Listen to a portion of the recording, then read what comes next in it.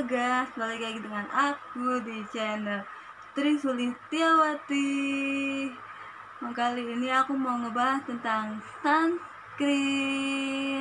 Sebelum itu, jangan lupa di subscribe channel aku Dan jangan lupa aktifkan notifikasinya. Dan jangan lupa like dan share ke semua sosial media yang kalian punya. Tetap tonton sampai habis kali ini aku mau ngebahas tentang chemical sunscreen dan vertical sunscreen. Dari mana yang lebih bagus untuk kalian? Kalian bisa pilih. Dan aku juga mau ngebahas tentang dari sunscreen yang aku punya yang udah aku cobain dari chemical sunscreen dan vertical sunscreen. Langsung aja aku akan membaca dengan singkat yang ada di website di Google. Mama, aku akan ngebacain ya guys.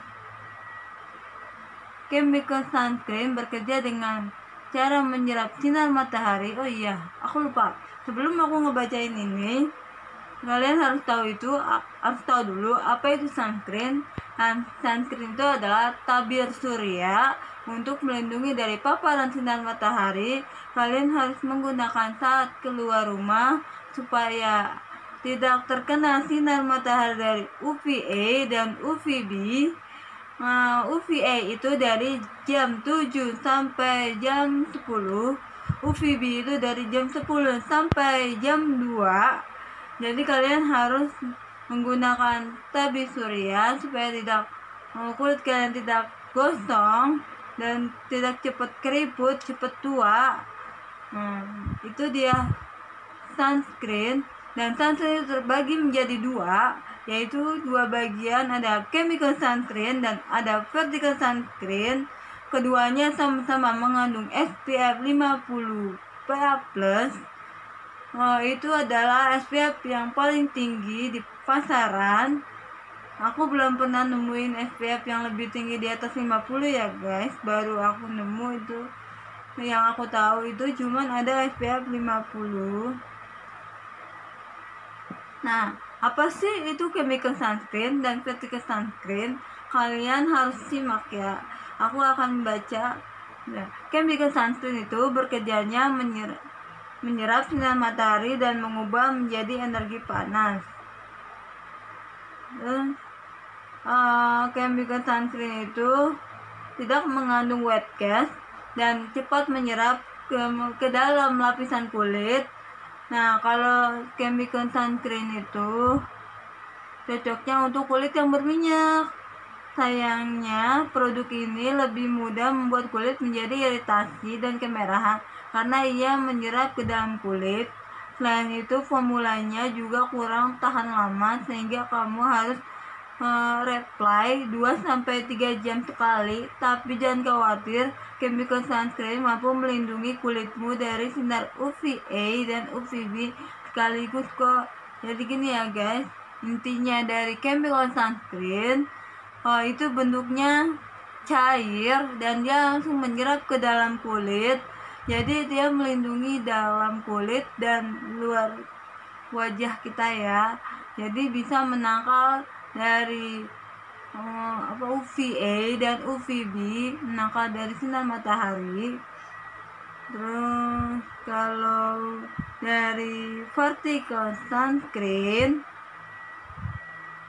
dengan cara melindungi permukaan kulitmu dengan membuat lapisan baru yang berfungsi sebagai tirai sehingga sering disebut sebagai sunblock. Oleh karena itu, teksturnya cenderung lebih tebal dan terkadang bisa meninggalkan wet cast. Bisa vertical sunscreen memiliki kandungan utamanya titanium dan dioksida zinc. Ia juga mampu melindungi dari sinar matahari UVA dan UVB dan di radikal bebas. Vertical sunscreen cocok digunakan untuk kamu yang memiliki kulit sensitif sekaligus. Jadi jangka waktu yang cukup lama sehingga kamu tidak perlu di-apply berulang-ulang. Jadi gini loh.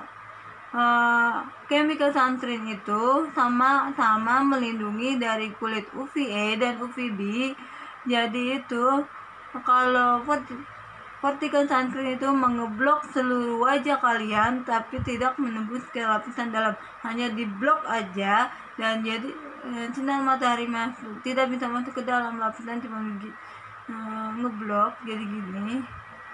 Tapi sama-sama bisa melindungi dari sinar. UVA dan UVB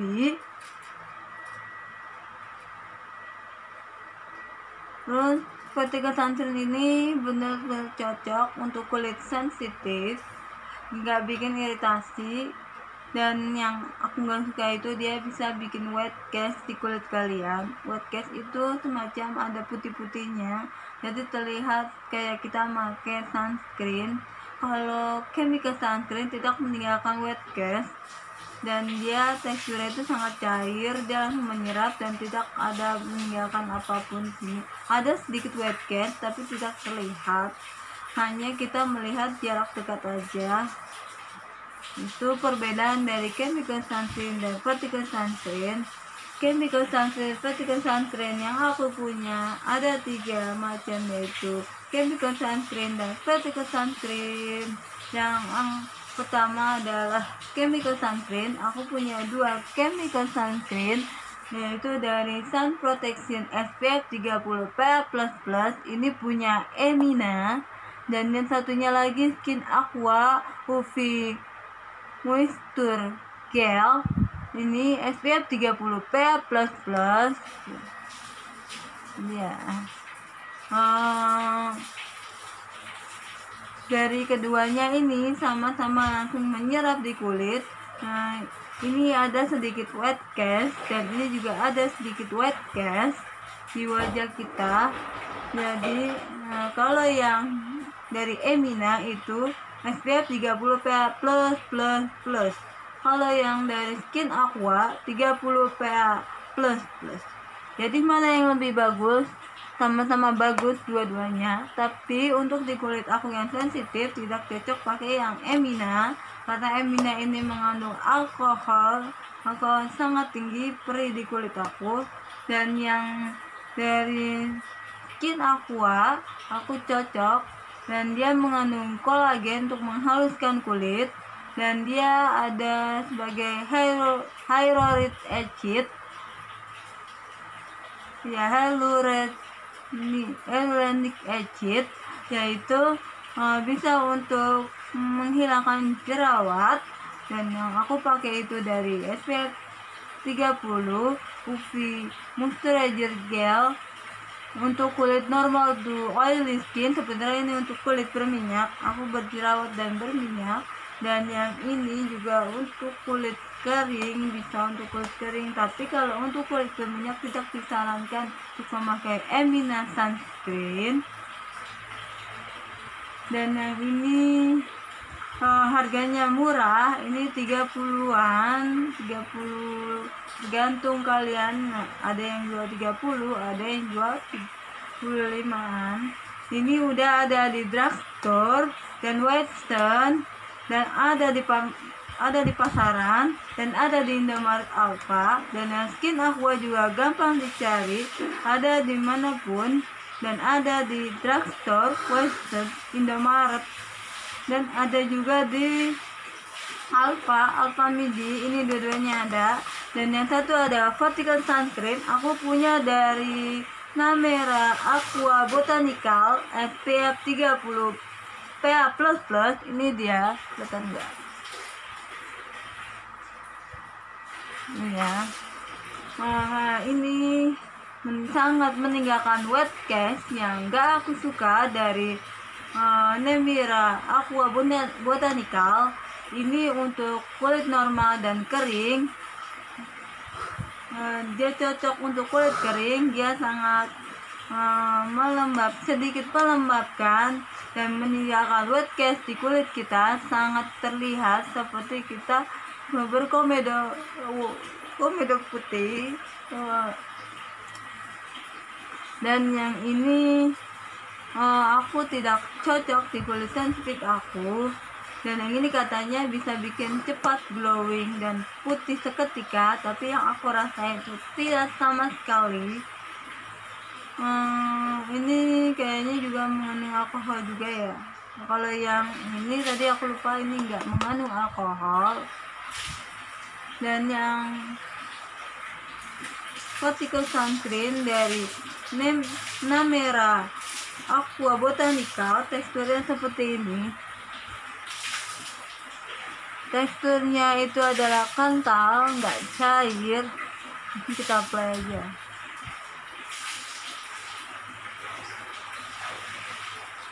Langsung meresap tapi kelihatan seperti ada webcastnya terlihat sekali.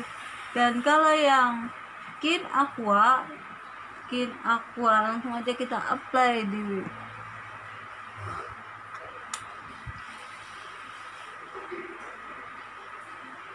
ini teksturnya uh, agak kental kalau di apply jadi cair ini kayak gini ya guys. Dia langsung meresap sedikit lengket kalau di kulit aku. Kalau dia pemakaian banyak lengket oh, ini kalau dari yang warna merah itu enggak. Enggak bikin lengket. Terus kalau dari sunscreen protection dari Emina ini dia bang. Bentukannya kental seperti ini seperti ini ya kan seperti partikel padahal ini chemical tapi dia langsung meresap dan dia itu cair kalau di apply dan dia tidak meninggalkan wet case ada wet case nya tapi sedikit seperti sama kayak bio aqua itu sangat sedikit jadi mana yang lebih bagus untuk kalian tergantung di kulit kalian. Kalau kulit kalian berminyak, uh, aku sarankan pakai yang chemical sunscreen. Kalau kalian kulitnya itu berjerawat dan sangat sensitif, aku sarankan pakai yang vertical sunscreen. Jadi itu keduanya sama-sama bagus tergantung di kulit kalian dan permasalahan kulit kalian. Uh,